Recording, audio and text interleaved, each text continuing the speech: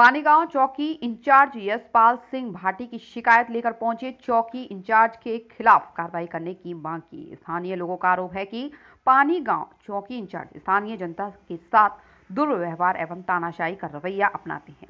बेवजह मासूम लोगों को परेशान करते हैं, भारतीय किसान यूनियन भानु के राष्ट्रीय प्रवक्ता ठेनुआ के द्वारा बताया गया कि स्थानीय चौकी इंचार्ज लगातार जनप्रतिनिधि एवं स्थानीय जनता को परेशान करते हैं। उनके साथ तानाशाही रवैया अपनाते हैं। वही योगी सरकार की छवि को धूमिल करने में लगे हुए हैं। भारतीय किसान यूनियन के राष्ट्रीय प्रवक्ता हरेश ठेनुआ का कहना है कि पानी काम चौकी इंचार्ज के द्वारा लगातार क्षेत्र में पुलिस की छवि को खराब कर रहे हैं एवं वहीं सरकार की छवि पर भी इसके द्वारा फ़र्क पड़ रहा है। ऐसे चौकी इंचार्ज के खिलाफ कड़ी कार्रवाई की जानी चाहिए।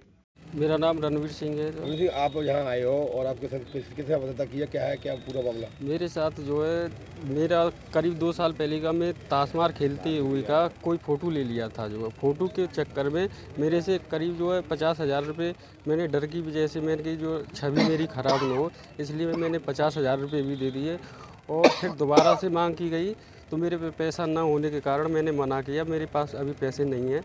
तो बार बार मेरे को धमकी और मतलब जो है गाली गलौज की शिकायत की है। ये मांग जो है? ए? मांग किस तरह की पे- दरोगा जी ने और उनके सिपाही सिपाही यशपाल भाटी जी। अच्छा। सिपाही का नाम क्या है? राजवीर सिंह जी। कहाँ पर है ये? कहाँ पर तैनात है? पानी गाँव चौकी। देखिए कौन है मेरा नाम हरीश ठेनुआ है मैं भारतीय किसान भानु का राष्ट्रीय तो प्रवक्ता ज्ञापन दे रहे हैं? क्या ज्ञापन है? क्या मांगे आप? ऐसा है हमारे क्षेत्र में जमुनापार चौक जमुनापार थाने में एक पानीगाम चौकी है।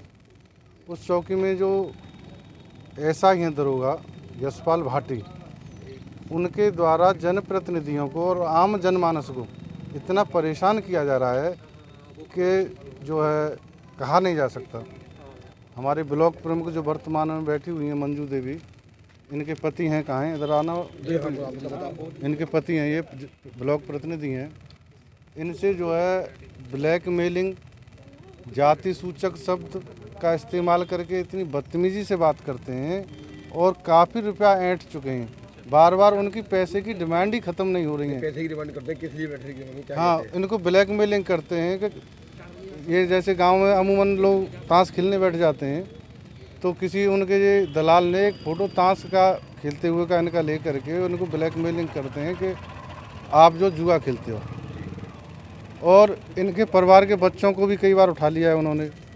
और उसकी रिकॉर्डिंग भी है कि किस तरह से बदतमीजी से एक जनप्रतिनिधि से बात करते हैं। ये इन्हीं का हल नहीं है। हमारे साथ चार पाँच प्रधान भी आए हुए हैं जो उस चौकी क्षेत्र के अंडर में आते हैं। उन प्रधानों के साथ भी कम से कम बीसों बार बदतमीजी कर चुके हैं। भोला प्रधान जी हैं? जी। बीसों बार बदतमीजी कर चुके हैं। तो आप आप क्या चाहते हैं? हमारी ये मांग क्यों? मुझे तो ऐसा लगता है कि वो समाजवादी पार्टी की मानसिकता के व्यक्ति हैं। वो सरकार की छवि को खराब करने के लिए क्षेत्र में इस तरीके का माहौल बना रहे हैं। हम शासन से, प्रशासन से, हमने मुख- मुख्यमंत्री महोदय के लिए वो लेटर लिखा है। ये मांग करते हैं कि इस भ्रष्ट दरोगा के खिलाफ प्रशासनिक जाँच बैठाई जाए और इसके के खिलाफ तुरंत कार्रवाई की जाए। क्योंकि अगर इसी तरीके से इसकी जो है बदतमीजी क्षेत्र में चलती रही तो सरकार से भरोसा जनता का उठ जाएगा। क्योंकि जनप्रतिनिधियों के साथ ऐसा हो रहा है तो आम जनता के साथ क्या हो रहा होगा ये आप समझ सकते हैं। तो हमारी हमारी यही मांग है कि इसको बर्खास्त किया जाए। इसके खिलाफ जो विभिन्न धाराएँ जो बनती हों उसमें इसके खिलाफ मुकदमा लिखा जाए और जाँच कमेटी बैठे। इसके लिए हमारे पास पूरे साक्ष्य भी हैं। रिकॉर्डिंग भी रखी है, पैसे मांगते हुए की ब्लैक मेलिंग करते हुए की, सारे साक्ष्य हम उस कमेटी को प्रस्तुत करेंगे।